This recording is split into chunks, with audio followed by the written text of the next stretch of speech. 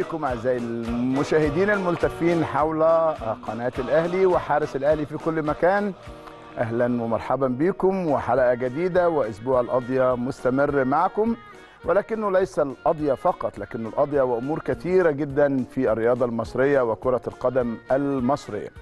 في البداية خالص التهنئة للمهندس خالد عبد العزيز بتوليه رئاسة المجلس الأعلى للإعلام وسبحان الله هذا الاختيار صادف أهله.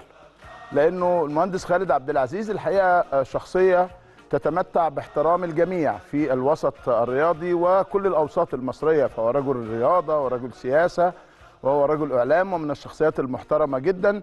نتمنى له هو مجموعته المحترمة كل التوفيق وكل التقدير وكل الاحترام إن شاء الله. لأنه الفترة القادمة محتاجة شغل كتير جدا جدا ونحن نثق فيه تمام الثقة بإذن الله. على الجانب الآخر الهيئة الوطنية للإعلام والإعلامي الكبير أستاذ أحمد المسلماني بيتولى رئاسة هذه الهيئة. نتمنى له التوفيق. الشخصيات المرموقة المحترمة اللي لها دور كبير جدا لا يمكن أن ينسى ابدا من الشخصيات المحترمة الوقورة المهذبة. ان شاء الله بإذن الله يكون أدم الاثنين على المكانين سعد ويكون نجاح ويكون توفيق بإذن الله.